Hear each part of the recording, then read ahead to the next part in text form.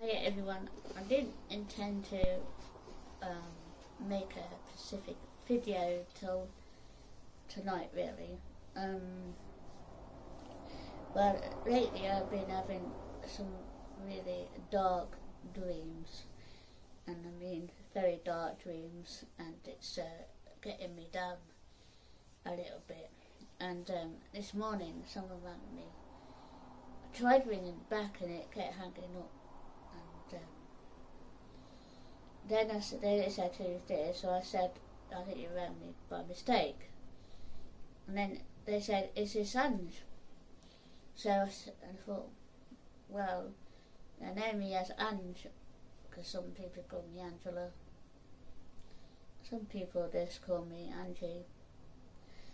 It depends and I thought I checked all my numbers and it wasn't there. I checked my neighbour's numbers and it wasn't there. And I felt, felt a bit uncomfortable and uh, if it happens again I'll record it on a different phone and show you.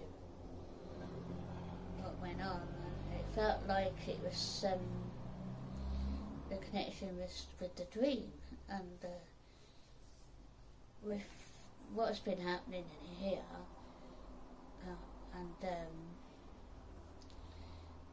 I can hear like on the landing um, some strange noises again.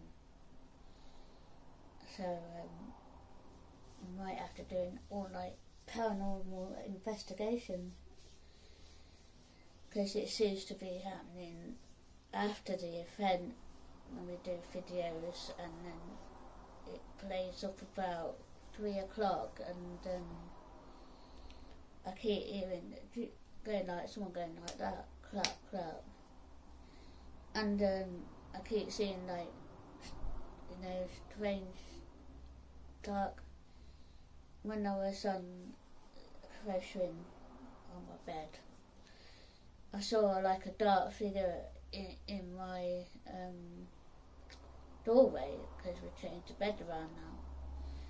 Um, so I find it a bit strange, really, all strange, to be fair.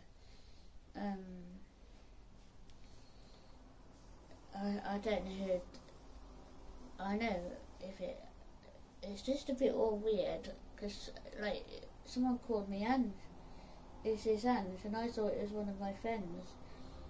So I rang all, all round and they said no, they, they've not got a new number.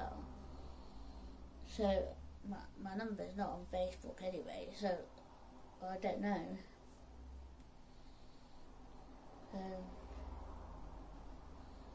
I'm just um, finding it a little bit weird. Thanks for watching anyway.